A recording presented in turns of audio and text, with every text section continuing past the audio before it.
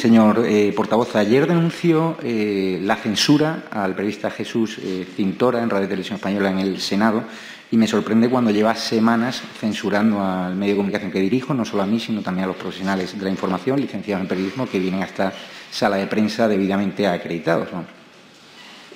¿Cuál es la pregunta? Es eh, por qué ese doble rasero, o sea, por qué denuncia la censura contra Jesús Cintora y en cambio usted ejerce la censura y ataca el derecho a la libertad de información, a la libertad de expresión de mi medio de comunicación, insultándonos y despreciándonos y eh, repartiendo ¿no? carnes de periodismo por el simple hecho de que no hacemos las preguntas que a lo mejor usted quiere o porque denunciamos lo que hoy cuenta, por ejemplo, que Diario, que Ecuador ha pagado un total de 8,4 millones de euros a las empresas tapaderas de Podemos. Se lo explico con toda, uh -huh. con toda tranquilidad. Eh, contestar a noticias falsas, eh, desde nuestro punto de vista, es un problema de la democracia, porque mmm, cuando alguien le, le, hace a usted, a usted o amigo, quien sea, una pregunta basada en una premisa que no es verdad, en una, en una fabricación, automáticamente se está aceptando, se está dando categoría de, de, de veracidad a algo que no es verdad. Y OK Diario ha publicado un montón de cosas falsas sobre nosotros. Entonces, nosotros también tenemos una responsabilidad con la ciudadanía.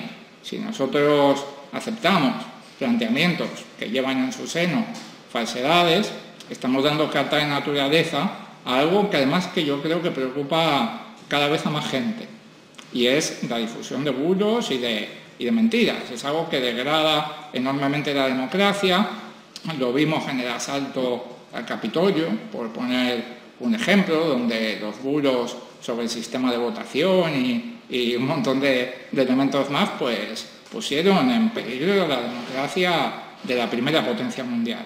Eh, ese es nuestro planteamiento y se lo digo aquí hoy con todo, con todo el respeto y por eso a veces pues hay determinadas preguntas que vienen de una fuente muy cuestionable o incluso que directamente parten de una premisa falsa que elegimos por responsabilidad democrática no darle carta de naturaleza.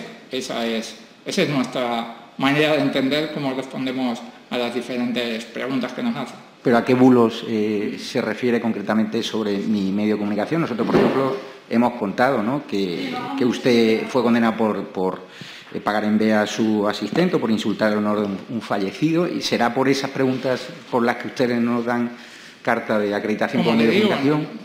Mire, yo, yo he hecho muchas entrevistas uh -huh. en mi vida, he ido a muchísimos medios de comunicación, he contestado a todo tipo de, de preguntas, algunas enormemente difíciles, y no tengo ningún problema, no uh -huh. es una cuestión de que una pregunta sea más difícil o, o, menos difícil, es, el problema es cuando están basadas en falsedades y, y en nosotros han dicho auténticas barbaridades, que Pablo Iglesias tenía una cuenta en un banco en Granadinas, que fue un documento fake que fabricó Eduardo Inda, eh, se ha dicho que nos habíamos financiado de Venezuela, cosa completamente falsa, se ha mentido muchísimo sobre nosotros. Entonces, claro, no es tanto ya que se mienta sobre nosotros, que, en fin, eso va en el sueldo, eh, como que entendemos que se degrada muchísimo la, la democracia, no es una cuestión de preguntas fáciles o preguntas difíciles. La labor de los periodistas es hacernos las preguntas fáciles y difíciles, las dos, ¿no?